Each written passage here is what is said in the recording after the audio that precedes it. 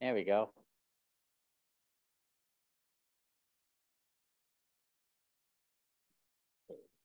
Almost there.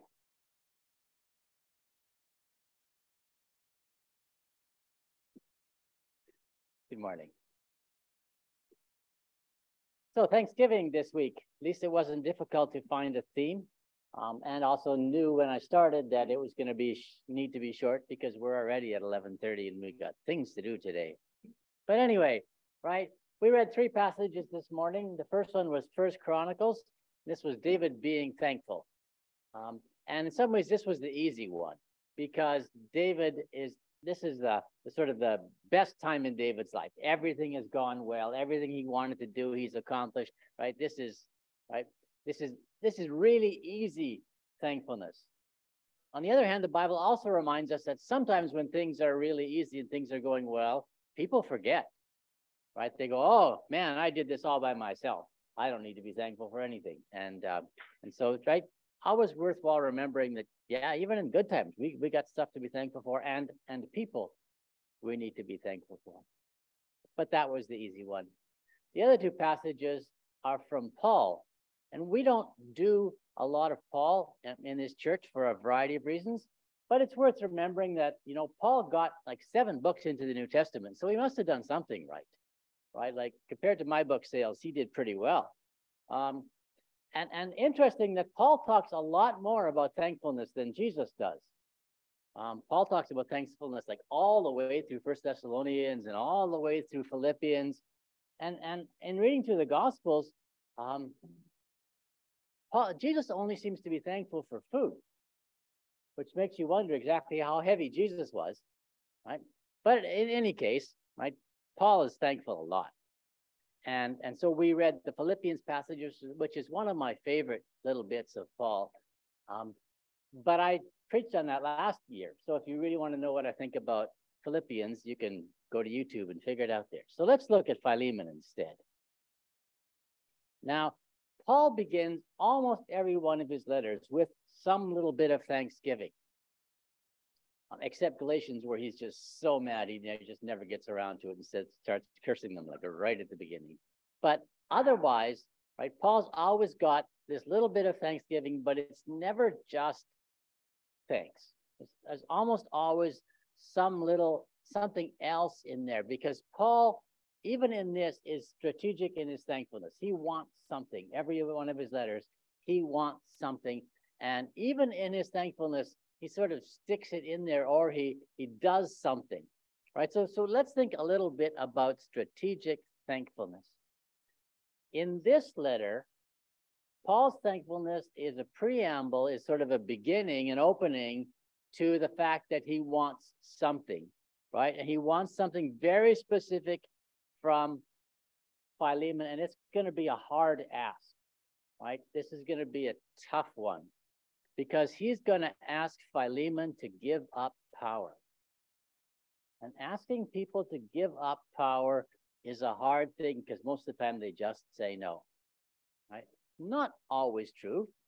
But I've noticed in this congregation, if you ask somebody to give up power and no longer be chair of the leadership team, it's not hard. Right?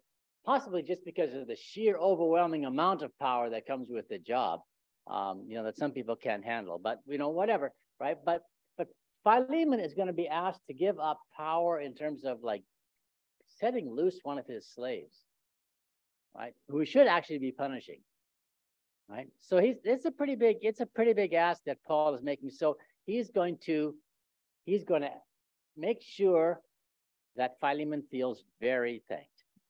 So here he goes.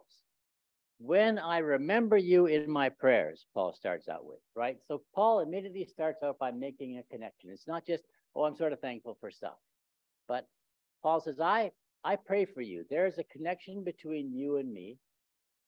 Right? And this connection is something I remember regularly, and I talk to God about it. And you and I are connected in specific ways. So when I remember you in my prayers, I always give thanks to my God. I always. Right?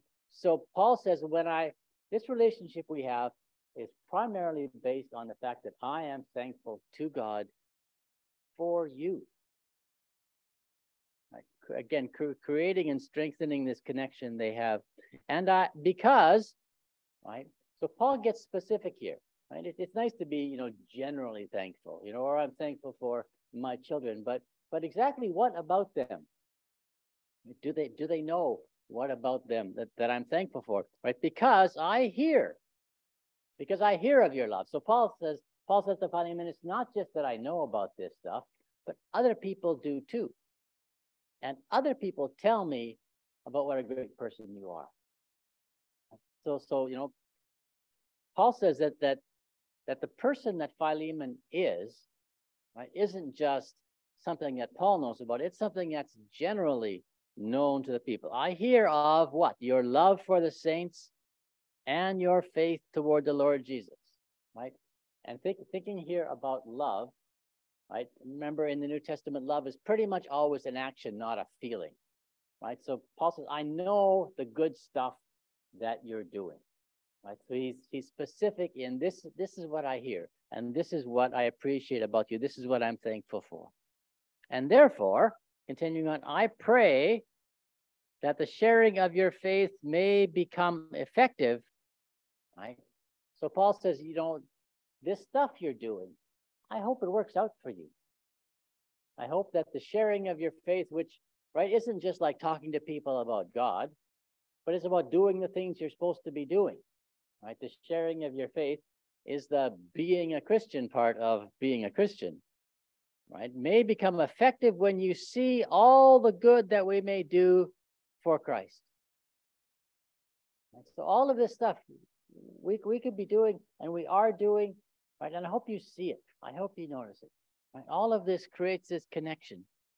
And Paul says, I have received much joy and encouragement from your love. So Paul also reminds Philemon that Philemon has been Paul's benefactor. Paul Philemon has been more than just a friend, but that Paul has received very specific things from Philemon. Right? I've received encouragement. I have received joy because of your love, because of what you have done for me and for other people. Right? Because the hearts of the saints have been refreshed through you, my brother. That's a lot of words just for thanks. Right? Paul has spent a, a lot of time crafting a very specific thanksgiving for Philemon, right? To Philemon before God, creating this relationship. And and I don't know, maybe it's a bit much. Right? I mean, do you think that by the end of this, Philemon, Philemon was getting a bit suspicious? You know, like if someone spends that much time praising you, you might get worried after a while that they're about to ask for something. Right? If you get an email that says, Oh, you know, I'm just so thankful for this and for that, and I'm really here about all this grateful stuff you're doing. After all, you go, you know, generally what happens to me is that someone's going to ask me to be on a committee. Like that's what I get worried about. And then I say, no, I don't do committees. And then we move on, right? But, right. So, you know, I don't know, maybe at some point, Philemon got suspicious. Um, and, and in some ways, it's fun just to read through Philemon because the whole thing is just so very carefully crafted so that at the end, Philemon has pretty much no choice but to say yes. Right? Paul is really good with his words and he's really good at getting what he wants. And I'm pretty sure he, he got what he wanted because otherwise Philemon would have just destroyed this letter and we wouldn't have it anymore. The fact that we had the letter suggests that Paul got what he wanted. Right? But part of getting what he wanted meant for him starting with thankfulness. That's the place where we begin in in in so many things in life. It's just worth it's just worth seeing. So that was that's my whole message, right? Just to watch Paul being strategically thankful for Philemon, right, and just being strategically thankful because he wants something. So our next song, number seven hundred and forty-seven.